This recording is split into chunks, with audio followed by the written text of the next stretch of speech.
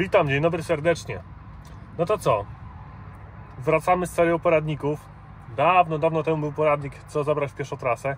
Dzisiaj oczywiście zajmiemy się obchodem samochodu. Co, jak, sprawdzić wszystko po kolei, zaraz Wam wypiszę. Lista będzie oczywiście punktów w opisie, żeby Wam było łatwiej. No to co? Zaczynamy.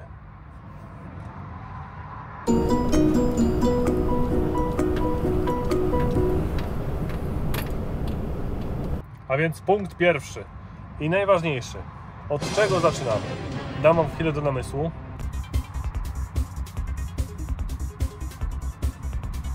No niestety nie. Wszyscy jesteśmy w błędzie. Dzień zaczynamy od... od kawy. Tylko i wyłącznie od kawy. Dobra, ale tak całkiem serio lecimy już teraz z tematem. Dobra, moi drodzy. Nie ma tak naprawdę ważniejszych lub mniej ważnych rzeczy. Wszystko trzeba sprawdzić. Ja Wam po prostu przedstawię, jak ja to robię, od czego zaczynam, na czym kończę, a Wy możecie po prostu robić tak samo. Także, moi kochani, punkt pierwszy. Sprawdzamy, czy nikt nam nie wypiął siodła. Jak to zrobić? Zapraszam.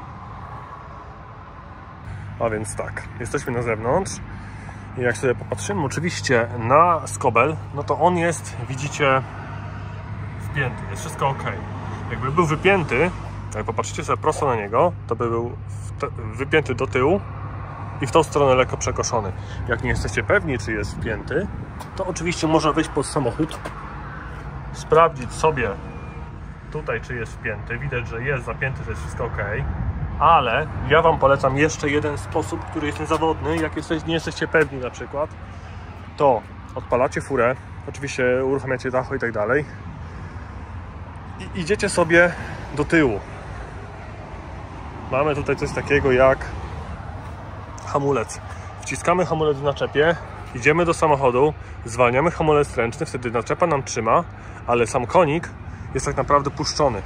I wtedy i wtedy wrzucamy drive'a i delikatnie dodajemy gazu, patrząc, czy naczepa nam nie zostaje, a my czy nie odjeżdżamy. Jeżeli naczepa trzyma, to nie ruszymy z miejsca. I wtedy po prostu jesteśmy pewni, że no najzwyczajniej w świecie naczepa jest spięta. Punkt drugi to oczywiście opony. Wiecie, sprawdzamy, czy nie stoimy na jakimś kapciu, czy nie są jakoś poobcinane. No po prostu stan opon, żeby po prostu nadają się na jazdę, nie? Czy na przykład, nie wiem, jakiegoś wybulwienia, nadcięcia, tak jak ja kiedyś miałem z rana, że wiecie, nie zauważyłem wieczorem, a miałem całą oponę ściętą i musiałem wymienić po prostu z rana oponę. Także, no lecimy. Jak sprawdzamy oponę? No, no wizualnie, tak? Sprawdzamy, czy coś się nie stało. Sprawdzamy, czy ogólnie ciśnienia nie spadło, czy na kapciu nie stoimy. No i ogólnie organoleptycznie sprawdzamy, czy, czy opony są po prostu całe, tak? Jak to mniej więcej wygląda. To u mnie jest wszystko ok, bo wcześniej sprawdzałem, także lecimy po prostu z kolejnym punktem.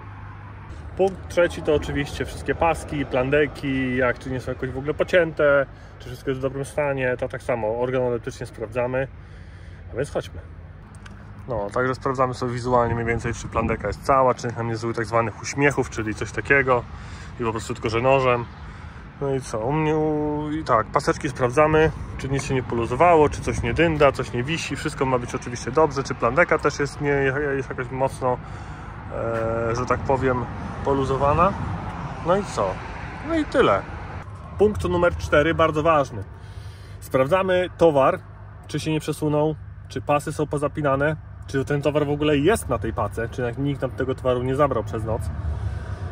No ja niestety Wam towaru nie pokażę, bo mam taki towar, wiecie, dosyć wyróżniający się. E, no i pasów nie mam, nie? Także ja po prostu tylko teraz w tym momencie sprawdzę, czy się nie poprzesuwał, czy jest ok. I tak generalnie sprawdzamy towar, tak? Czyli jeżeli macie pasy, to sprawdzacie każdy pasek, czy jest napięty i tak dalej. Myślałem, że jest ciekawy gość, czy nagrywam. Piąty punkt i tak naprawdę ostatni punkt to jest sprawdzenie oświetlenia, czy wszystko tak naprawdę jest git malina. Wiecie, no najprostszym sposobem jest po prostu wsiąść do auta, odpalić samochód, załączyć światła. Ale jeżeli macie DAFA, nie wiem jak w innych modelach, może też to jest w innych modelach, ale ja w DAFie mam taką bardzo ciekawą opcję. Mianowicie przy kluczach mam taką żaróweczkę. I jeżeli ja tą żaróweczkę sobie przytrzymam, jak na załączonym obrazku, Czekajcie. Proszę bardzo, przytrzymuję. I teraz mi się zapalają wszystkie światła. Mogę sobie wszystko elegancko sprawdzić. Przód, tył, wszystkie kierunkowskazy. O, i widzicie? Tutaj Wam e, oczywiście w tym mryga, ale ja to mam oczywiście normalnie wszystko. No i co? I tak samo mogę sobie sprawdzić e, naczepę, konika z tyłu. Tutaj też oczywiście wszystkie pozycje. O, proszę bardzo. Wszystko się zmienia ładnie. Wszystko mamy elegancko. Wszystkie obrysówki możemy sprawdzić, czy działają. Świeci, świeci. Tak jak Was uczyli oczywiście na kursach. No i oczywiście sama naczepa, która też jest oczywiście sama się sprawdzi. No i wszystko gra. I teraz przytrzymujemy. Jestem chyba za daleko od samochodu. Czekajcie. Mrugam jak choinka.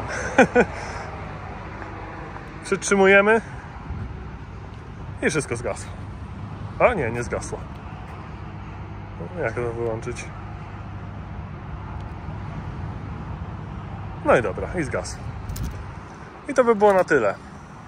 Także wiecie, to mi się wydaje, że to by było na tyle. Można tak naprawdę jeszcze sprawdzić, czy nam do korków nikt się wlewowych do paliwa nie dobierał, czy zanim ruszymy, czy paliwo w ogóle mamy, ale to wiecie, to są takie jednostkowe rzeczy, które no, nie zdarzają się, się codziennie, tak? Można sprawdzić ogólnie auto, czy nie jesteś porysowane, ale ja Wam chciałem powiedzieć po prostu, co jest takie najważniejsze do sprawdzenia. Czyli sprawdzamy konika, sprawdzamy plandekę, sprawdzamy opony, potem sprawdzamy ładunek, czy on jest i czy jest dobrze spięty, czy się nie przesunął. No i na końcu sprawdzamy oczywiście oświetlenie i tyle. I ruszamy w drogę. Startujemy z tacho. Oczywiście, zanim zaczniemy to robić, rozpoczynamy tacho i wszystkie te czynności robimy na młoteczkach, żebyście pamiętali. I tyle. Jak się poradnik podobał, no to się bardzo cieszę. No i co, widzimy się, myślę, że przy kolejnym poradniku. Też bardzo ciekawy temat, bardzo ważny do poruszenia. Mianowicie o pracy kierowcy, ale może nie będę zdradzał, dowiecie się w kolejnym odcinku. Mam nadzieję, że się podobało. Jak się podobało, to dajcie lajka, zasubskrybujcie, skomentujcie, co jeszcze można sprawdzić. No i co? Do następnego i trzymajcie się. Na razie, cześć.